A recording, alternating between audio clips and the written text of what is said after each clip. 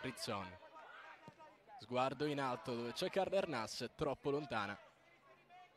E ancora Pavan, gioco, ne salta 3, poi 4, prova anche la conclusione!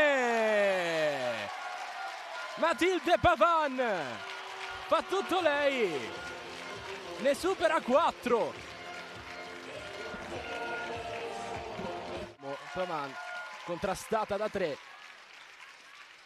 tiro sotto la traversa del Parma, Bren ancora una volta, legge la diagonale, poi perde il pallone. Azione pericolosa per il Parma, il pallone è in mezzo, c'è la deviazione! E la rete! Il pareggio del Parma al diciottesimo minuto.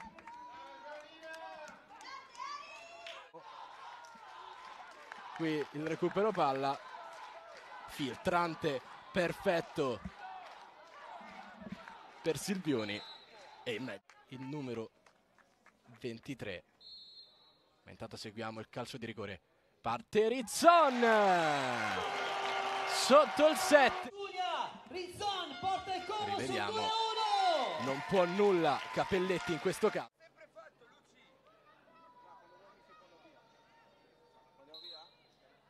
attenzione c'è un cartellino rosso contro c'è lo spazio per Kubassova perde troppo tempo infatti il pallone va dall'altro lato Pastrenge allarga per Greta Di Ruzio in mezzo dove c'è Kubassova 3